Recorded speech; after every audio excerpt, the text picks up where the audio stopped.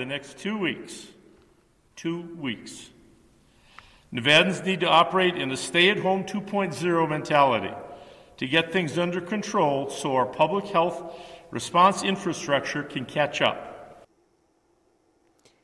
And that was Governor Steve Sisolak earlier this week, urging everybody to stay home for the next two weeks. And now we enter our first weekend since the stay at home 2.0 order.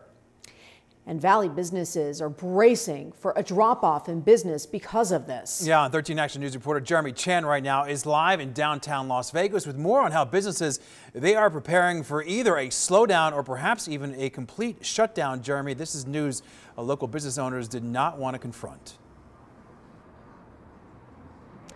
Absolutely, Todd and Tricia. And businesses here for the past few months have been making lots of adjustments in order to comply with the social distancing guidelines. And right now, there's a lot of anxiety of what could come next.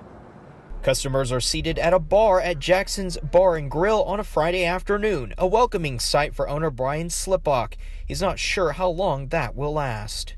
It just seems as if um, we're going to be shut down again that he's leading it in that direction. Ever since Governor Sisolak made his stay at home request Tuesday, he fears businesses may be forced to shut down again. He's already seeing a slower weekend. I can tell you it started already. Um, our normal customer count's down. Um, our restaurants are down, our gambling's down, everything's down. So I see people already staying at home.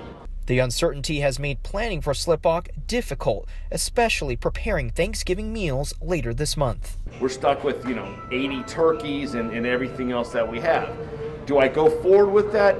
knowing that we're going to be open. You know, these are these are the worries that I have as as how to plan.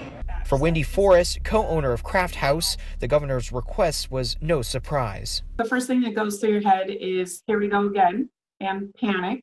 Um, and then I think, well, we've already done this before, and it's it's not really a surprise. We all knew that a second wave was coming.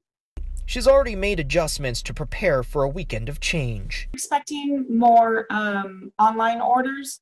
So, uh, with the first um, shutdown, we created a curbside touchless to go system so people order through the website. Forrest already has plans in place for a robust takeout system and outdoor dining in case restrictions are placed.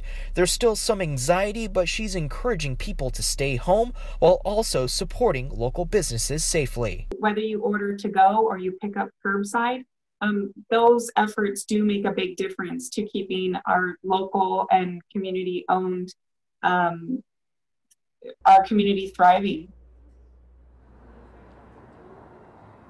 And we are still more than a week from possibly hearing from Governor Sisolak about any future plans. But businesses say right now they're trying to do the best they can. Jeremy Chen, 13 Action News.